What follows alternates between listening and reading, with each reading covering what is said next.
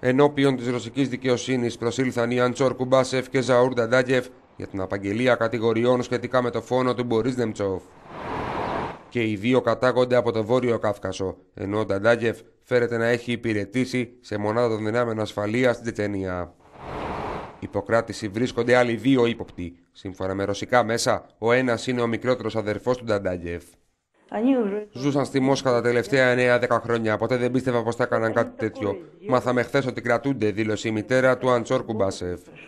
Το πρακτορείο Ιντερφαξ μετέδωσε ότι ένας άλλος καταζητούμενος προτίμησε να αυτοκτονήσει παρά να συλληφθεί στον Κρόσνη. Στις 27 Φεβρουαρίου, ο Μπορί Νεμτσόφ έπεσε νεκρός με τέσσερις σφαίρες στην πλάτη σε μια γέφυρα δίπλα στο Κρεμλίνο. Ο 55χρονο επέστρεφε σπίτι με τη σύντροφό του.